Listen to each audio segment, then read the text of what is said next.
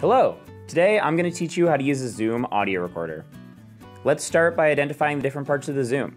At the top, there are two microphones used to record audio internally. On the front, there are three knobs. The knob at the top is used to adjust internal audio, while the knobs below the screen are used to adjust external audio. Under that, there's a variety of buttons. The four labeled L, R, 1, and 2 are used to select if you're recording to internal or external microphones. There are also stop, play and pause, fast forward, and rewind buttons. Finally, this is the record button. On the right side, there's a remote input as well as a lever to navigate on-screen options, and the menu button. There's also a slot for your SD card here. On the left side, there are two outputs, one for line out and another for headphones. There's also a volume control.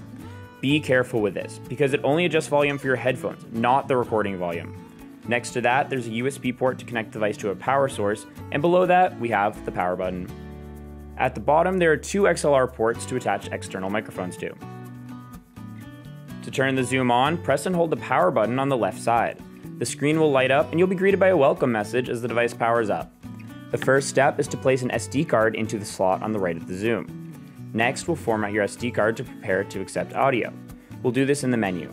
Press the menu button on the right side and use the lever above it to scroll to SD card. Select this option by pressing in on the lever and another menu will appear. You should select Format and then press Yes to confirm that you really want to format your SD card. The Zoom will show a loading screen for a few moments before taking you back to the menu. Press menu one more time to exit the menu screen. Now it's time to decide which input to use. You can either use the internal microphones at the top or attach an external microphone at the bottom. The buttons labeled L and R represent the internal microphone, while the buttons labeled 1 and 2 represent the external microphones. If you're not sure about which input to use, think about what you're recording.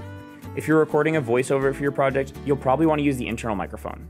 If you're recording audio from a performance, you might want to use the external microphone. Today, we're going to use the internal microphone. Now, you've probably already noticed the two moving bars along the center of the screen. These bars represent your audio levels.